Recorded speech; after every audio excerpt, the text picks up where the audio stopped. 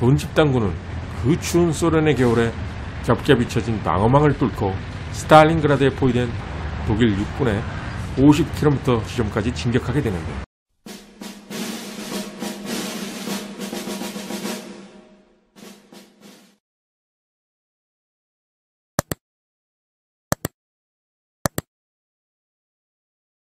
2차 대전 발발 시작인 폴란드전을 시작으로 이후 벌어진 굵직굵직한 대규모 기갑 전투 뒤에는 모두 그 장군이 있었습니다. 그러나 유독 다른 장군들에 비해 저평가되었던 장군. 2차 대전 기간 중 독일에는 많은 기갑 전문가들이 있었습니다. 집단화된 기갑 부대를 창안하고 전격전 전술을 최초로 실전에서 구현하여 기갑 부대의 아버지이자 전격전의 창시자라고 불렸던 구데리아. 제7기갑사단을 이끌고 프랑스전에서 너무 빠른 속도로 진격하여 유령사단이라는 별명을 얻었고 북아프리카의 거친 모래바람 속에서 전설을 써내려갔던 사막의 여우 롬멜. 거기다가 독수련 초반 북부집단군 56기갑 군단장을 맡아 무려 420km를 4일 만에 진격하여 기동전의 대가라고 불린 독일군 최고둔의 만슈타인. 이들은 모두 기갑부대를 이끌고 맹활약했던 기갑 전문가들이었으나 하나같이 개성이 강했고 상관과의 마찰도 많았던 인물들이었습니다. 그런데 기갑 전문가이면서도 이들과 다르게 튀지 않고 돌발 행동을 자제했던 인물이 있었습니다. 그래서인지 부하들 사이에서도 파파, 즉 아빠라고 불렸는데 그만큼 부하들에게 자상했고 인기가 많았다는 증거가 될 수 있겠습니다.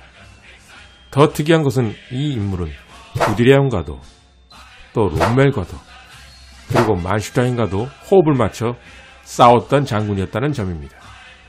이 인물의 이름은 바로 독일군의 파파 헤르만 호트입니다. 군의관의 아들로 태어난 호트. 호트의 나이는 유예로 좀 많습니다. 그는 1885년생입니다. 히틀러보다도 4살 연상입니다. 그는 1차 대전 패전 후에도 독일 군대에 남았던 엘리트였습니다.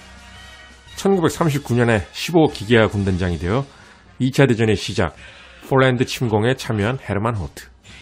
1940년 5월에 벌어진 프랑스 침공전에서도 호트는 15기계화 군단을 맡았는데 이때에는 롬멜 7기갑사단이 호트 휘하에 있었습니다. 나중에 호트보다 더 높은 계급인 원수에 오르게 되는 롬멜이 1940년 프랑스전 당시엔 호트의 부하였던 셈입니다. 1941년 6월 21일 새벽 3시 독일의 소련 침공작전 바바로사 작전이 시작됩니다. 바바로사 작전의 가장 규모가 큰 핵심 집단군이었던 중부 집단군. 이 중부 집단군의 강력한 수혜 주먹인 이 3기갑 집단. 이 중 하나인 3기갑 집단을 맡았던 것이 바로 호트였습니다. 또 다른 주먹인 이 기갑 집단은 구데리안이 맡았습니다. 독일 전격전의 위력이 가장 잘 발휘됐던 전역은 바로 독소전 초반 중부 집단군이 치른 전투였습니다. 구드리안과 호트, 이 둘은 마치 독일 공격의 쌍두마차처럼 모스크바를 향해 경쟁적으로 내달렸습니다. 구드리안과 호트는 호흡이 척척 맞았고 계속해서 엄청난 소련군을 포기 선멸하여 인류 역사상 최대의 포로를 잡아들였습니다. 호트는 제3기갑 집단을 지휘하여 민스크와 비텝스크를 바바로사 작전 계획대로 점령하는 데 성공합니다.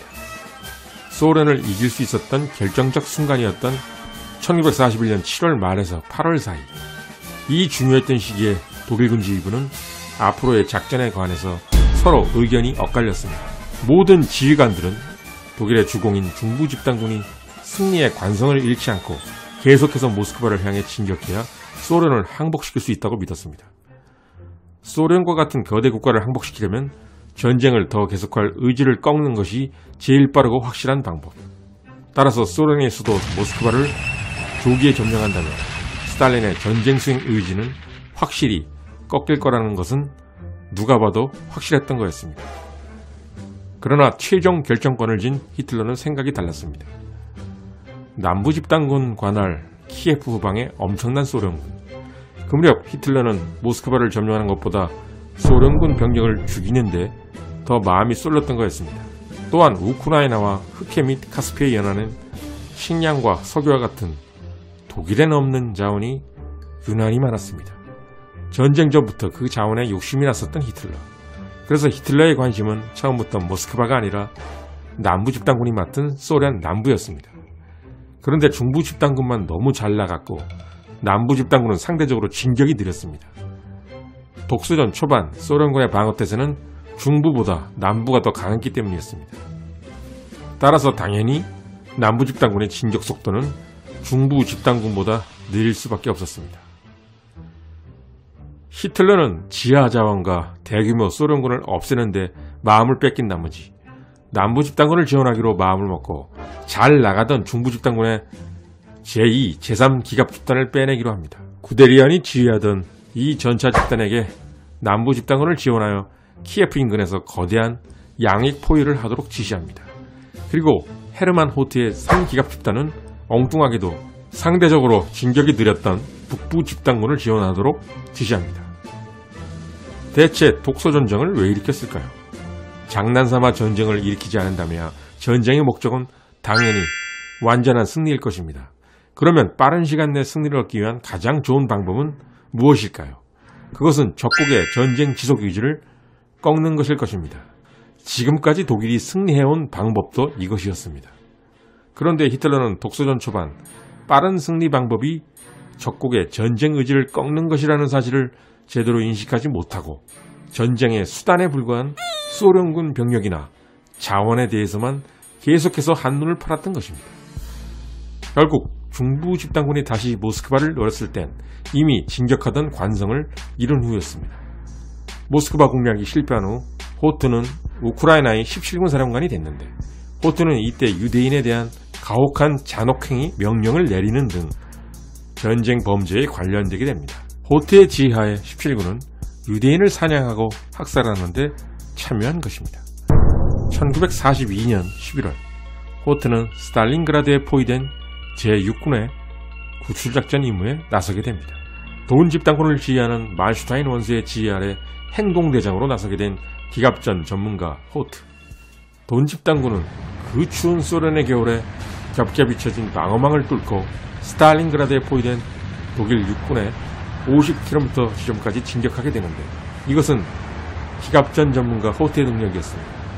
돈 집단군 자체가 패잔병들을 급조해 만들어진 완편 부대가 아닌 약한 부대였기 때문입니다. 따라서 이런 부대를 끌고 겹겹이 쳐진 포위망을 헤치고 스탈린그라드 50km 근방까지 진격해온 것 자체가 기적이었습니다. 멈춰선 돈 집단군 쪽으로 6군이 뚫고 나왔더라면 성공할 수도 있었겠으나 어리석게도 육군의 펀 파울로스는 그럴 의지도 없었고 이동할 연료도 부족했습니다. 1942년 12월 25일까지 벌어진 육군 구출작전은 결국 겨우 50km 지점을 남기고 끝나게 됩니다. 호트는 동부전선에서 많은 전투를 벌였고 많은 승리를 거두었는데 그의 가장 위대한 성과 중 하나는 3차 하르코프 전투였습니다. 바로 이 전투에서 독일은 스탈린그라드 패배의 복수를 하게 되고 거침없이 진격해온 소련군에게 아직 독일군이 만만치 않은 존재라는 사실을 깨닫게 해주게 됩니다. 이 전투는 만슈타인의 작전이었지만 역시 그 밑에서 기갑부대를 실제 이끌고 공격을 지휘한 것은 호트였습니다. 이후 벌어진 쿠르스크 전투에서도 남부 집단군을 총괄 지휘하는 만슈타인 밑에서 제4기갑군을 이끌게 되는 호트. 호트의 4기갑군 밑에는 쿠르스크 전투에서 맹활약한 파울 하우저의 SS Panzer군과 캄프 분견군도 속해 있었습니다. 인류 역사상 가장 대규모인 프로호로프카 전차전에서 승리하고도 결국 후퇴할 수밖에 없었던 독일.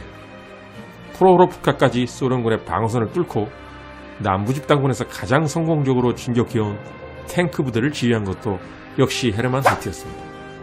이와 같이 호트는 만슈타인 휘하에서 벌어진 대규모 전차전에서 모두 실제적으로 부대를 이끈 행동대장이었습니다. 이처럼 호트는 1943년 후르스크 전투까지 독일군 공세 때마다 매우 신뢰할 수 있는 전차부대 사령관임을 입증했습니다. 확실히 그는 구데리안, 롬멜과 같이 자신이 알아서 다 하는 프리마돈나 경향은 없었습니다. 그의 스타일은 상관인 중부 집단 군 사령관 보크와 남부 집단 군 사령관 만슈타인의 명령을 충실히 잘 따랐던 팀 플레이어였던 것입니다. 쿠르스크 전투 소련 붉은 군대는 드네프르 강을 건너 키예프를 탈환하고 독일군을 우크라이나 동부에서 몰아내는 파상 공세를 펼치게 됩니다. 쿠르스크 전투로 지칠 대로 지친 독일군에게 쿠르스크에서 싸운 소련군이 아닌 쌩쌩한 소련군이 그야말로 물밀듯 밀려들기 시작합니다. 1943년 9월 호트는 키예프 북쪽의 드네프르 강을 건너 후퇴합니다. 이 책임을 물어 1943년 12월 10일 호트는 해임되었고 1945년 4월까지 기용되지 못합니다. 전쟁이 끝난 후 호트는 니른베르크 재판에서 재판을 받았습니다. 그가 소련 남부에 있을 때 저지른 죄 때문이었습니다. 호트는 그의 지시가 군대의 사기를 향상시키기 위한 것일 뿐이라고 주장합니다. 유대인에 대한 만행은 단지 일부 독일군의 범죄일 뿐이라고 주장했습니다. 그러나 결국 호트는 전쟁 범죄와 반인도적 범죄로 유죄 판결을 받고 15년형을 선고받습니다. 그 후 1954년 가석방 된 후 1971년에 사망합니다. 롬멜과는 상관으로서, 구드리안과는 동료로서, 말슈타인과는 부하로서 대규모 기갑전투 뒤에는 항상 그가 있었습니다. 기갑전 전문가였으나 워낙 유명한 다른 장군들에 가려서 잘 알려지지 않았던 호트. 특히 만슈타인의 대승리는 그의 명령을 가장 충실히 따랐던 헤르만 호트가 있었기에 가능했던 것이었습니다. 재미있게 보셨는지 모르겠습니다. 재미있게 보셨다면 구독을 잊지 말아 주십시오. 대단히 감사합니다.